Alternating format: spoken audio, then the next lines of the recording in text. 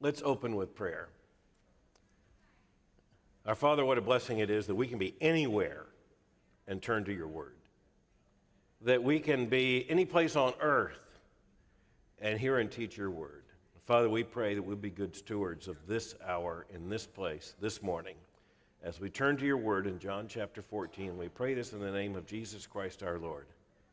Amen. I've really been excited about turning to the passage of our concern as we just arrive uh, today at the Gospel of John, chapter 14. And uh, having already covered the first paragraph of chapter 14, we now are going to pick up at verse 8. And what we're going to be looking at is one of the most under understood passages of the Gospel of John. And of course, as we reach John chapter 14, we are clearly headed towards the cross and resurrection of the Lord Jesus Christ. And thus we have the intensification of energy and uh, of message.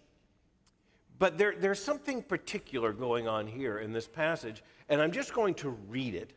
And, uh, and, and as I read it, see if you can sense what it is that is happening that most evangelical Christians don't see as it happens.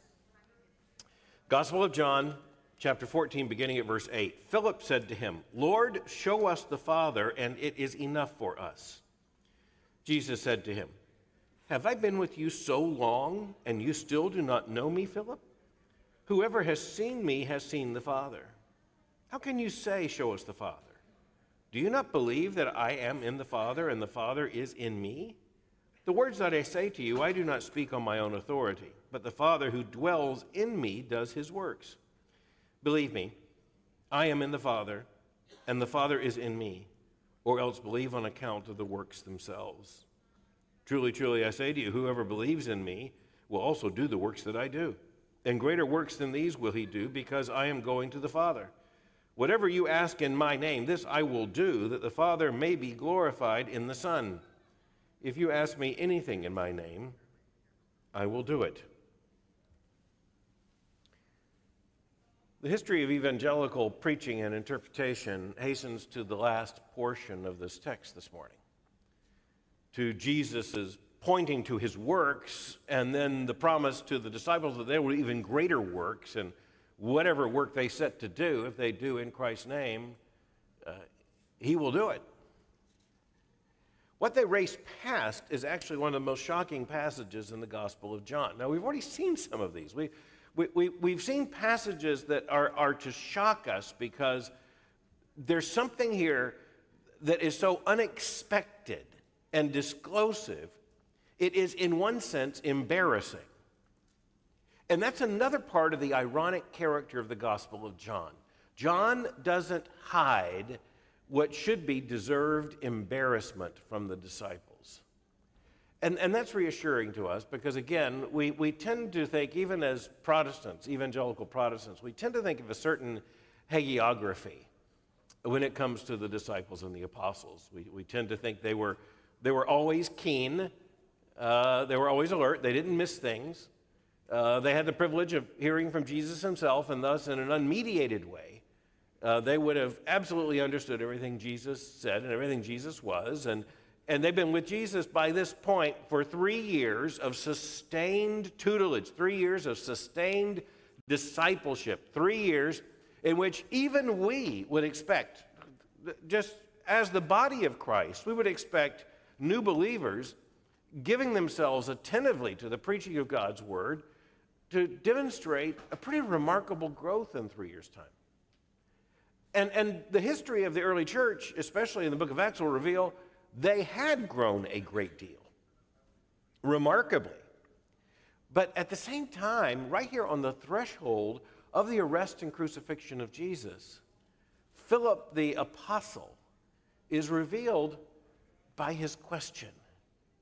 And the response of Jesus actually points us to the fact that there's a lot more going on here than any casual reading of the text would indicate. First of all, it just begins rather flatly that Philip said to him, Lord, show us the Father, and it is enough for us. Now, this is right after Jesus had spoken the earlier words we have in this discourse. And you go back to chapter 14, verse 1 Let not your hearts be troubled. Believe in God, believe also in me. So there's a parallelism. believe in God the Father, believe also in me. In my Father's house are many rooms. If it were not so, would I have told you that I go to prepare a place for you? And if I go and prepare a place for you, I will come again and take you to myself, that where I am you may be also and you know the way to where I'm going. Now remember, he says, You know the way to where I am going. But it's Thomas who then says, Lord, how can we know? We do not know where you are going. How can we know the way? Jesus said to him, I am the way and the truth and the life. No man comes to the Father except through me. If you had known me, you would have known my Father also. From now on, you do know him and have seen him. So you'll notice there is a, a double perplexity here on the part of the disciples. You have the perplexity of Thomas, and now you have the perplexity of Philip. And you would think that had Philip been listening carefully to Jesus' response to Thomas, he would have understood not to ask the question or to make the statement that he made, asking Jesus to show the Father. Jesus has already, in John chapter 12 and chapter 13, spoken increasingly of his identity with the Father. And then uh, has classically spoken of the fact that the Father is glorified in him and he is glorified in the Father. They share the same glory. And so we know all that.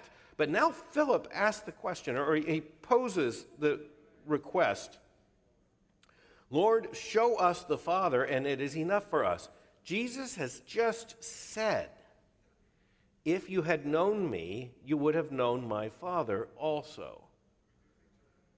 From now on, you do know him and have seen him.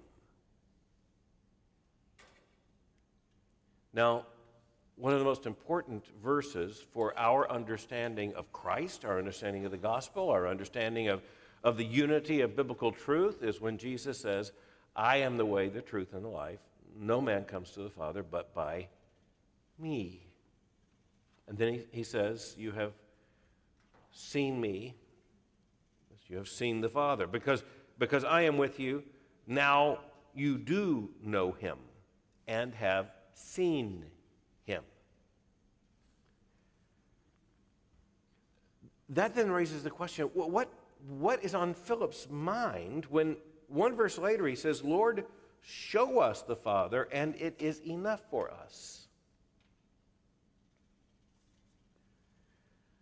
It must be that Philip, even paying close attention to the discourse of Jesus and listening to him attentively, just imagine the pressure. We, we know how much pressure was already present. We know the threat of arrest, the hostility of the Jewish authorities. All of this is already abundantly clear. And Jesus has been speaking of the fact his hour has now come. After years of saying, My hour has not yet come. Now he says, My hour has come. We've already had the final supper. We've already had the announcement of betrayal. Jesus is, Judas has already been sent away to do what he must do quickly. Jesus is speaking with an unusual intimacy, and it's going to be an intimacy that will continue throughout the next chapters, all the way to the cross. But now, after Thomas has said, How can we know the way? We don't know the way. And Jesus said, You know me, so you know the way. And then Jesus went on further and said, If you know me, you know the Father, and now you have known him and seen him. And Philip says, But Jesus, it will be enough if you just allow us to see the Father. Now, What's, what's going on here? Well, here's a theological category that is common only to biblical Judaism and Christianity. It is the theophany, the appearance of God, the manifestation of God. It is a bush that burns and is not consumed. It is the glory of God in the cleft of the rock. It is God showing up. It's not a vision, it's not a dream. It's the actual presence of God in His creation in an appearance known as a theophany, and the rare character of a theophany is what makes it so utterly amazing. Moses could not ignore the bush that burned and was not consumed. He could not but obey the voice that came from the midst of the fire. And he later, of course, famously wanted to see God's glory, and he was able to see God's glory passing by. A theophany was Israel's greatest hope. There were theophanies of a sort in the column of fire and, of smoke and the presence of God in the tabernacle and in the temple, but these were not from which voice came. It was the voice who came to Moses. It was the voice who spoke from the midst of the fire that came from the bush that was yet not consumed. It had been many, many, many centuries since Israel had experienced a theophany. Israel has been praying for a theophany. Israel's been praying for an appearance. You see this in the Psalms, actually. You see this in the prophets. You, you see this in a passage like Isaiah 60. It, they are longing for a theophany, and they've been promised a theophany. And even in the Old Testament, now we can go to the Old Testament and see that the theophany they were promised is an incarnational theophany. Unto you a child is born, unto you a son is given. There will be a king who will rule forever from David's throne. Promise after promise after promise. Philip does not understand yet that Jesus Christ is not only the fulfillment of those promises, he is the theophany. Our joy this morning in turning to this passage is to reflect upon what it means that Jesus Christ is himself and was from the very moment of his incarnation the theophany. We do not look for a theophany. We do not ache to see the Father because to see Jesus is to see the Father. To have Jesus is to have the Father. To know the glory of Christ is to know the glory of the Father. Now, behind all of that is the intertrinitarian mystery of the Father, the Son, and the Holy Spirit. And of course, the Holy Spirit's coming so quickly in the, in the, in the passage here as he's being promised shortly after the very conversation that we are, we are considering. But we need to ponder what it means that Jesus himself is the theophany. And, and you see it right here in the passage where Jesus' response to Philip is immediate. Philip says, Lord, show us the Father, and it is enough for us. Jesus said to him, Have I been with you so long, and you still do not know me, Philip? And it would be easier to understand if Jesus hadn't just said all that he just said. But he, he just said, I am the way, the truth, and the life. No man comes to the Father but by me. He, he's just said, but now you know him and have seen him. And it's almost as if Philip, on behalf of the others, that's almost always the case in all four of the Gospels. When one disciple asks a question, it's almost always on behalf of all the disciples. I don't mean that had to be orchestrated, it's just natural. What, in the flow of Matthew, Mark, and Luke, and John, when a disciple asks a question, it's not that the others are able to answer the question, only Jesus can answer the question. That's the point. And uh, this is encouraging to us about not only the fact that Jesus isn't offended when we ask such questions, but that others are probably asking these questions, and it's a good thing for us to overhear one another asking these questions. But in this case, Thomas's question was awkward, and now Philip's question is awkward, but Jesus isn't responding so much in personal pique or dismissal as he actually seizes it as the opportunity. His, his response to Philip is, Have you been with me all this time? And, and, and you don't know me? His words may express a bit of frustration, but more than anything else, it just points to the fact that the disciples have missed it. Have I been with you so long and you still do not know me, Philip? Whoever has seen me has seen the Father. How can you say, Show us the Father? It's an amazing passage. Jesus says, how can, you, how can you turn to me, look to me, and say, Show me the Father? If you look at me, you're seeing the Father. I've already told you to see me is to see the Father. I and the Father are one. If you see me, you see the Father. Philip, listen to these words. If you see me, you see the Father. He doesn't use the word theophany. That's a word that we use of an appearance of God. Again, not a vision, not, not an appearance in the sense of something that someone has merely seen as an illusion, but an actual appearance in the created order of God's presence and His glory. Jesus is as the bush that burns and is not consumed. Jesus is the, the light, the fire, the voice, and they've been with him all these years. Moses was only able to get a glimpse of the backside of God passing by. The disciples have been with Jesus all this time, face to face, gathered around a fire, preaching in a field, sharing meals. To see him is to see the Father. And the conversation continues. You know, Jesus continues by saying, Whoever has seen me has seen the Father. How can you say, Show us the Father? Do you not believe that I am in the Father and the Father is in me? Again, what a verse. Just ponder this for a moment. It, it's, it's not, do you not know that if you see me, you have a pretty good idea of what the Father looks like? You have some hint of the divine reality and the divine majesty. To see me is to have a, an increased and heightened awareness of deity. Jesus doesn't say that. He says, if you see me, you see the Father. And it's because I am in the Father and the Father is in me. The preposition is astounding. It say like? It say similar to? doesn't say roughly the same as? He says in. Now, this is a part of the Trinitarian mystery, what it means for the Father to be in the Son and the Son to be in the Father, but at least it means this to see one is to see them all.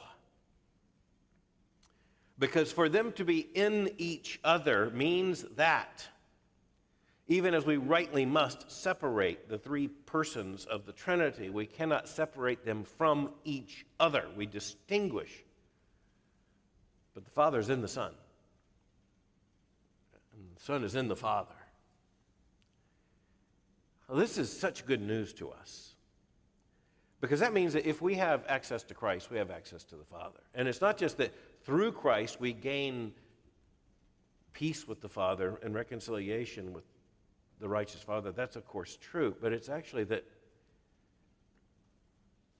in Christ we have the Father. He is the way to the Father, He is Himself in the Father.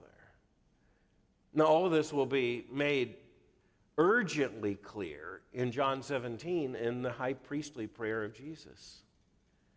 But right now, this is about Philip and Philip's request. And Jesus saying, How can you have been with me all this time and now you say to me, Show us the Father? And notice those other words, it will be enough. Enough. It will be enough. Of course, it would be enough.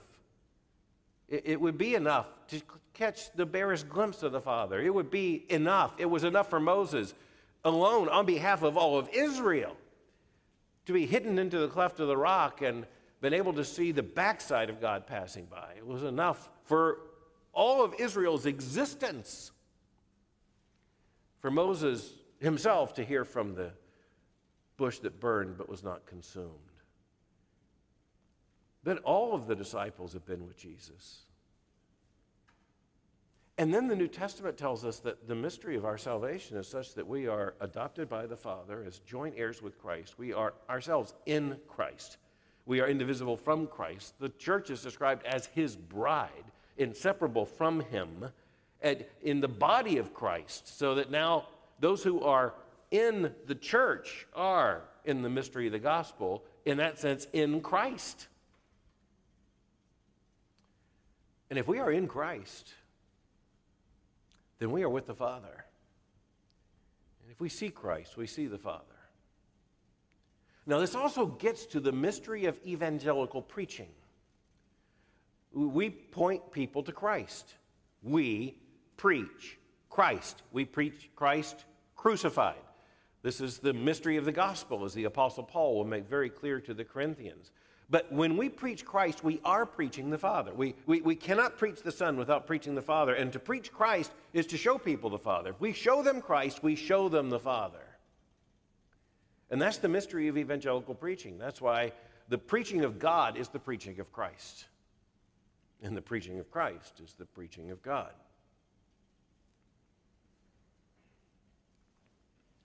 The text continues.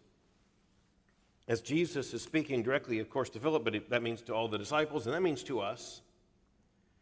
Do you not believe that I am in the Father and the Father is in me? The words that I say to you, I do not speak on my own authority, but the Father who dwells in me does his works.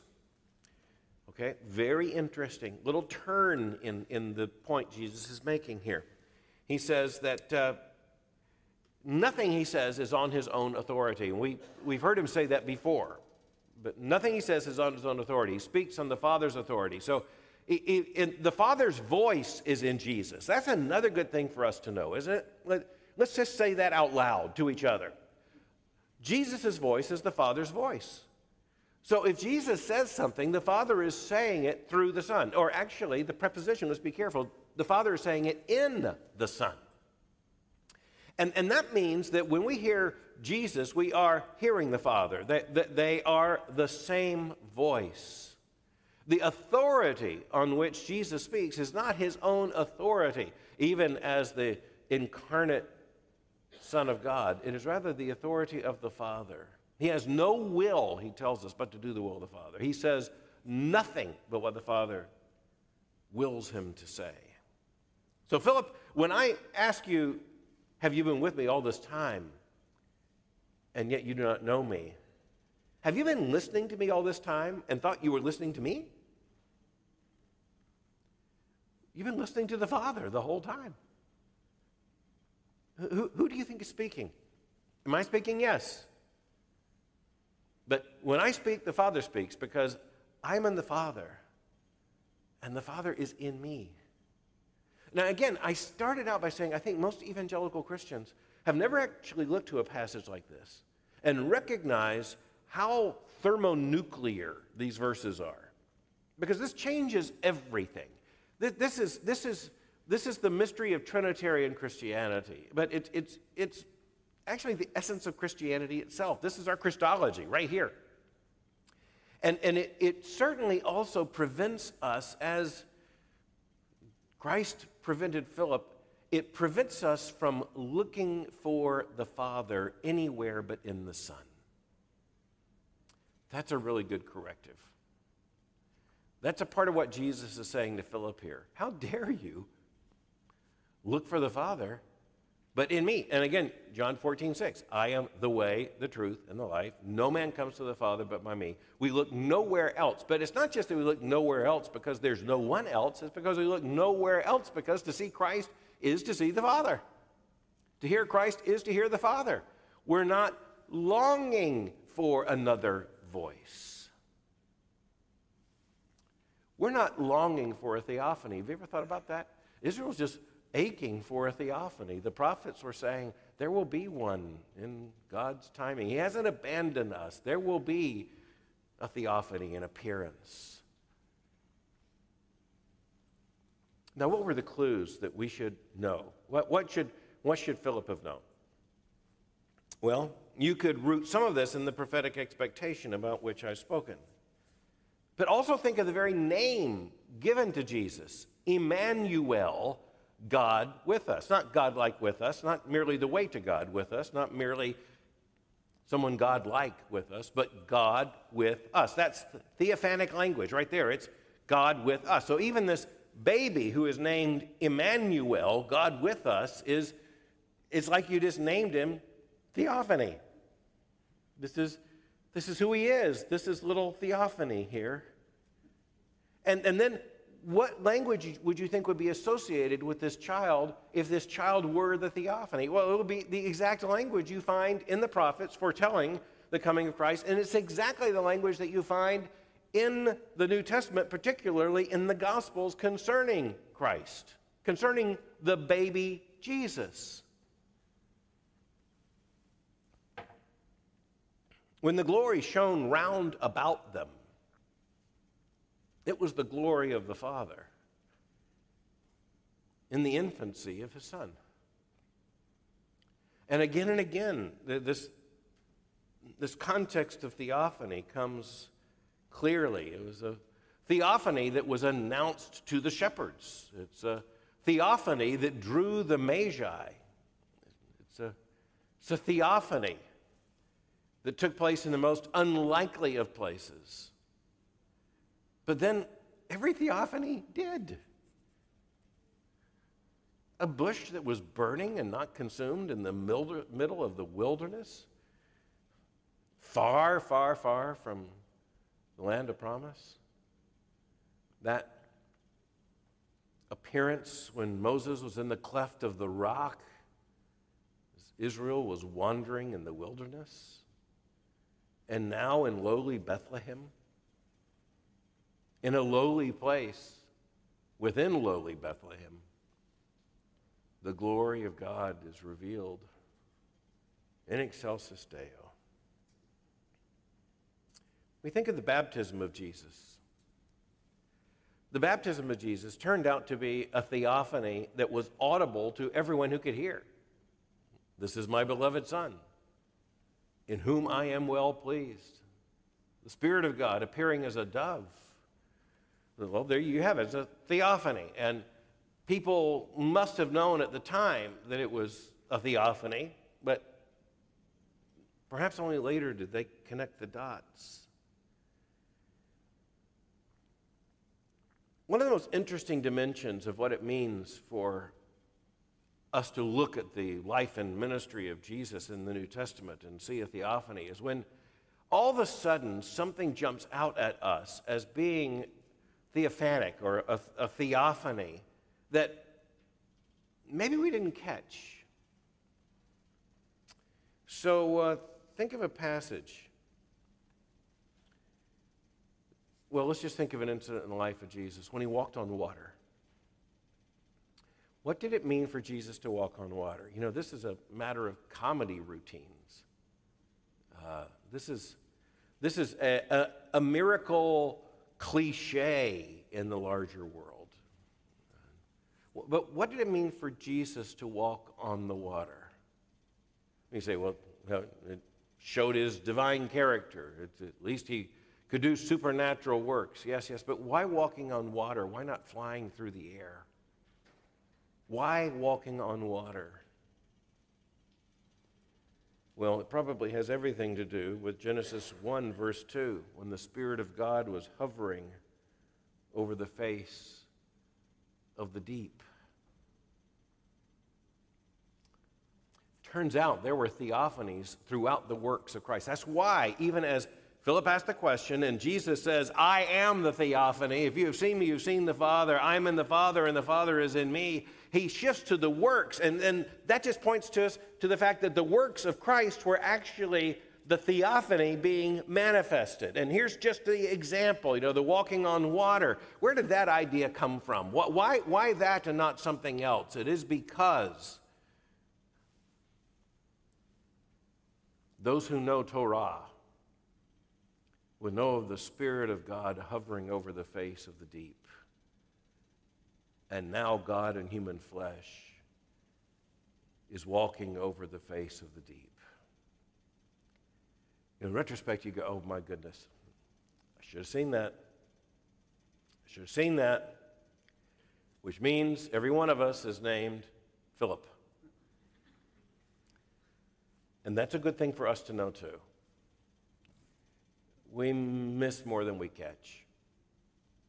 It's one of the reasons why we have to keep studying the Bible over and over and over again and studying the same text over and over and over again because we miss more than we catch. And, and for one thing, it, it, it, takes, it takes a lot of biblical awareness to be able to say, oh, I can connect John 14 with Genesis 1. There must be a connection. Or I can, I, I, can, I can go to Jesus walking on water and then I can go back to Genesis. It takes long acquaintance with Scripture. It also takes an ongoing conversation with people who are studying the Word of God. That's why when we are seriously studying the Bible, we want to go to other faithful Christians who've also studied the Bible. That's why any preacher rightly getting ready to preach or to teach the Bible, or anyone doing what I'm doing, will go and say, What have other faithful Christians taught of this before? What, what will I miss that I might not miss if I turn to another faithful believer who's been struggling with this, and New Testament scholars who have worked with this. But if you do that, you'll also notice that almost every one of these commentary writers misses more than he gets. And so you get a bunch of them together and you get more because you miss less. And through the history of the Christian church, it's a matter of every generation missing a lot, but passing on much. And when the recovery of something like this comes, it's, it's glorious because in the middle of Christ's church, all of a sudden it's as if the glory of Christ shines greater. It means a lot more to me this morning, having prepared to talk about this text, to ponder Christ as the theophany of God. And the fact that right here is the very, is a very fulcrum passage in which all of a sudden, okay, now everything makes sense, including the works. As, as Jesus made clear as he was speaking to Thomas, it, it's not Jesus changing the subject, it's Jesus making the point. Believe me that I am in the Father and the Father is in me, or else believe on account of the works themselves. Now, before turning precisely to the works, let me just point you to two other aspects of the theophany of Christ, and that would be the transfiguration which is very much parallel to the baptism. This is my beloved Son. And the, the next is the crucifixion. And you, you may say, well, the crucifixion, how, how can that be a theophany? It is, in biblical theology, the theophany. When, it, when Jesus is displayed before the world on the cross, that is the display of the Son and the Father, and the Father and the Son. And that's a part of the preaching of Christ's church. But Jesus points to the works. And he doesn't name any of the particular works here, but he, he speaks of the works. And that, that's John's other word for miracle. And so you got sign and works, the, the, the works that I do. And uh, and the word works is larger than sign, and that sign's almost exactly what we think of as miracle. It's an act that in itself is to point to uh, his divine nature. But in this case, the works are the works that Jesus could do and could only do the feeding of 5,000, the healing of the sick. You could just go down the whole list. And so the works were signs that did things signs that had effects and, and but like the signs that were merely signs the works point to who jesus is and from the fact that he is to the fact that he is from the father. And what he could do is only possible because he is from the father. And then jesus goes on and speaks a remarkable passage and it begins in verse 12 truly truly i say to you whoever believes in me will also do the works that i do and greater works than these will he do, because I am going to the Father. Whatever you ask in my name, this I will do, that the Father may be glorified in the Son. If you ask me anything in my name, I will do it. Well, does he? This is one of those passages where we get just a little bit of nervousness because uh, you don't have to throw a stone too far before you'll find a church that'll say, This is exactly what it's all about. We're doing the works Jesus did because Jesus told us to do it, and He said, Whatever that we do in His name, He will do. We ask it, and He will do it. Greater works. I've gone down the country road and passed the Greater Works Apostolic Church. Looked like a fairly small work, but Nonetheless, it named itself the Greater Work Apostolic Church. I've uh, heard plenty of TV preachers promise that all we have to do is X or Y in Jesus' name, and Jesus is honor bound to do it. Well, is that right or wrong? Well, it has to be right. it has to be wrong. When Jesus talked about his works, and we have it right here in the Gospel of John, we, we can look at exactly what he was talking about. The, the main work is the work of preaching the kingdom. That's the main thing that we do. So before we get to anything like, uh, say, bringing back a dead person alive, we need to start with the main work that Jesus did, and the main work to which we are called to do, and that's the preaching of the Word of God. And you know what? Whenever the Word of God is preached, Christ is present. Christ is present, the Father is present. And because He sent the Son, the Father and the Son have sent the Spirit when the Spirit is with us, the Spirit opens our hearts to believe, to see. This is the Holy Spirit inspired word. Preaching is a Trinitarian event, and it is a work. Preaching and teaching the Word of God is a work that we do in Jesus' name. And we get to preach to more people than Jesus ever got to preach to in his earthly ministry. We've seen the expansion of the church, we've seen the perseverance of the church, the protection and divine direction of the church. We've seen amazing things happen in the history of the church. So, the greatest work to which preaching is directed is the conversion of souls. And that's a work we get to see. That's a work we long to see. That's a work that we celebrate in baptism more than in anything else. And we get to see that. We get to baptize in Jesus' name. Yes, in the name of the Father and the Son and the Holy Spirit, let's be clear. But we're doing this because Jesus told us to do it. It's an ordinance because he ordered it. And it's a work. And it's, it's, it's a work that we get to see to a far greater extent than even Jesus and his disciples saw in their earthly ministry. We've been able to see a baptized church made up of millions defy dictators, defy the devil, preach the word, and take the gospel as they are even now to the ends of the earth. Other works we do because Christ did them works of healing. We pray for one another. We pray for those who are not even believers. Praying right now for the president and the first lady and a whole host of others who are infected with COVID 19. We, we pray. Now, Jesus assures us that greater works will be done by us, and whatever we ask in his name, he will do. But he never gives us the authority nor delegate sovereignty to determine exactly how this will be done and when and where and who. So we have plenty of permission, indeed. We're authorized and commanded to pray for one another.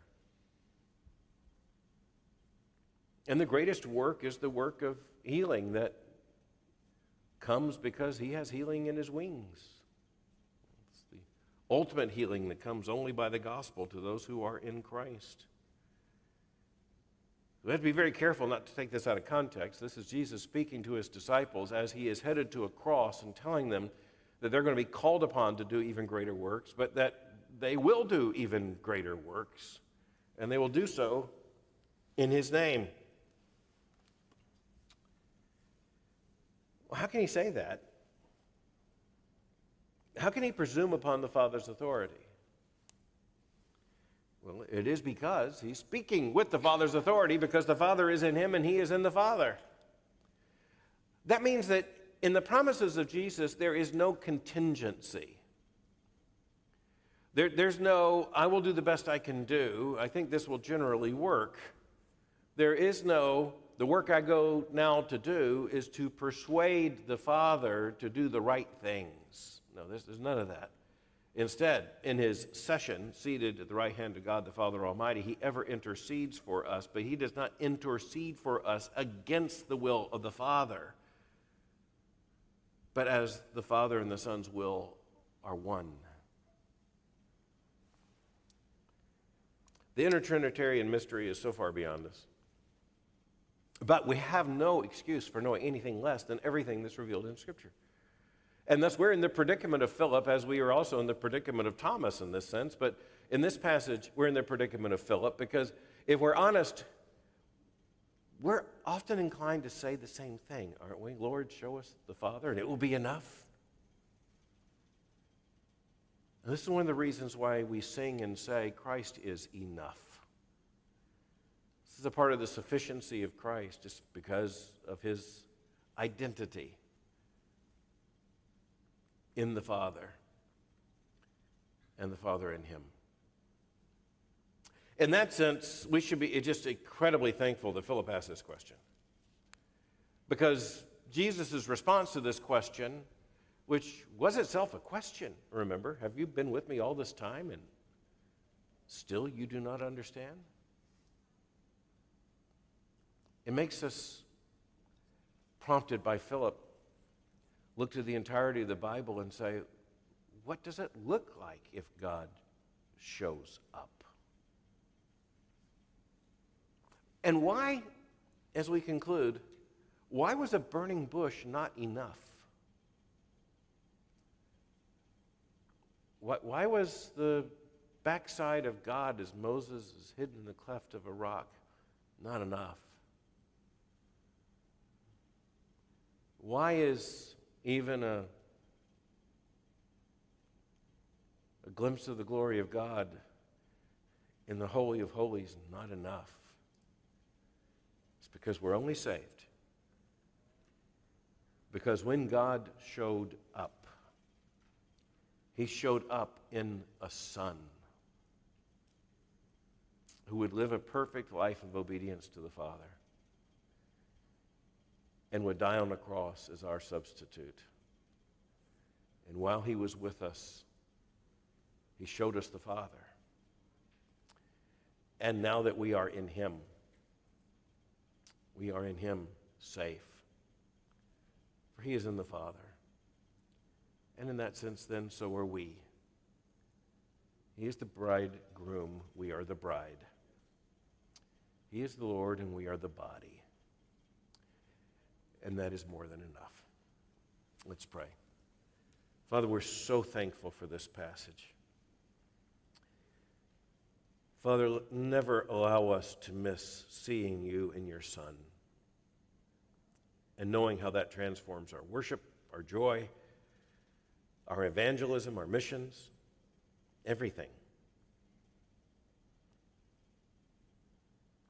And Father, may it not be said at the end of our days, have you been with me so long, and yet you have not known me? It will be, Father, by the communion of your people, by the work of the Holy Spirit, by the preaching of God's word, and it will be to your glory. And so to you and your glory we pray. Amen.